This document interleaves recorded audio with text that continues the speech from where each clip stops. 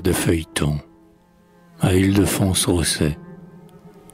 Mon cher directeur, je modère les élans de ma verve. Ici, mon feuilleton hebdomadaire fait relâche cette fois-ci. Le cher caprice étant mon hôte, si je me dorlote en fumant, les pieds sur mes chenets, la faute en est odieux. Voici comment. Toujours le directeur ordonne, poliment de me convier à toutes les fêtes qu'il donne, mais du 1er au 9 janvier. À Paris, ville des Lumières, où je crée lui-même mes nous avons vécu sans première représentation, enfin. Moi qui griffonne avec bravoure et qui n'ai jamais déserté, voici qu'une fois je savoure les douceurs de la liberté.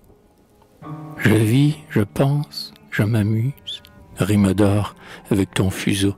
Je fais ce que je veux, m'amuse, puis ouvrir ses ailes d'oiseau.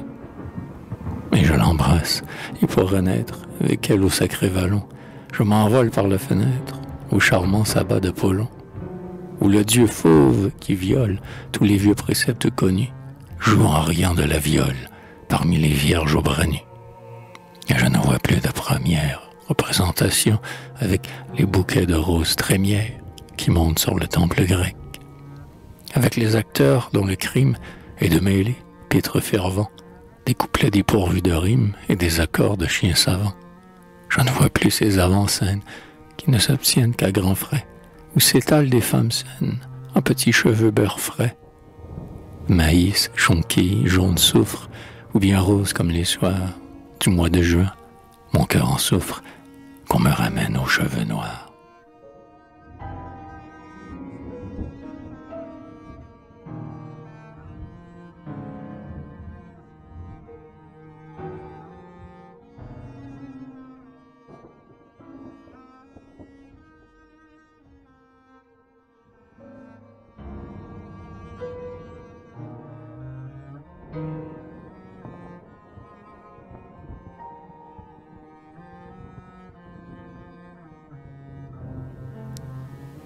Je ne vois plus les troupes chères, des gandins aux gilets ouverts, ainsi que des portes cochères, gens si pâles qu'ils en sont verts, et qui, dans leurs cheveux, qu'admirent les demoiselles sans souci, avec art sur leur front se tirent une heure entre les sourcils.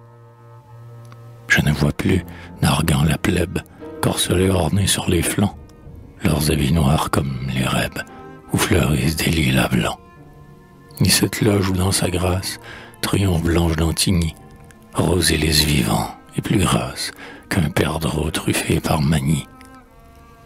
Errant au gré de ma folie, au pain d'où toujours cela, notre amoureuse Castalie, je ne vois rien de tout cela. Et sur la pelouse enchantée, je vais dans le zéphyr ami, aussi libre qu'un Prométhée dont le vautour s'est endormi.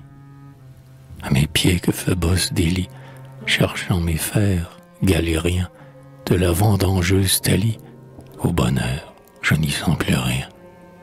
Car depuis huit jours les théâtres, certes, jamais vous ne l'auriez pu croire, ont des succès folâtres en rabâchant sur leur laurier.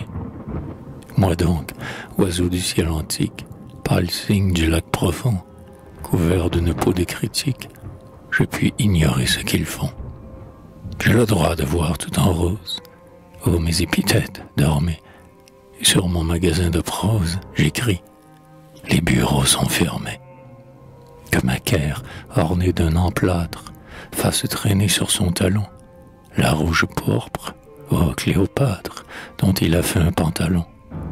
Que de Viria pour les merles qui voudraient être ses amants, étale des maîtres de perles et des boisseaux de diamants. Qu'elle montre svelte et farouche, un mollet dont Paris est fou, et que les perles de sa bouche nuisent à celles de son cou. Que, séduisant jusqu'au titane, après sa moustache capoule, traîne encore plus de sultane qu'un pacha n'en garde à Stamboul. Que ce monde-là vole aux rampes, afin de ravir les humains, devant les flammes de la rampe, tant pis, je m'en lave les mains. Seigneur, je me soucie, en somme, d'Hermione et de Camargo, ainsi qu'un poisson d'une pomme, comme l'a dit Victor Hugo.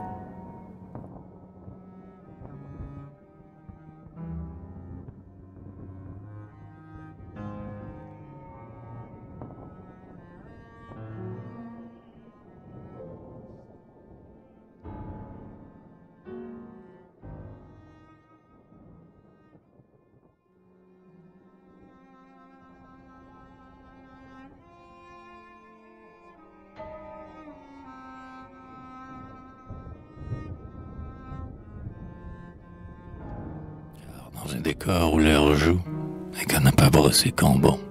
Je me promène, je l'avoue, certes, ma franchise a du bon. Mais j'en prévois les conséquences. Donc vous voulez, mon cher Rousset, savoir où je prends mes vacances?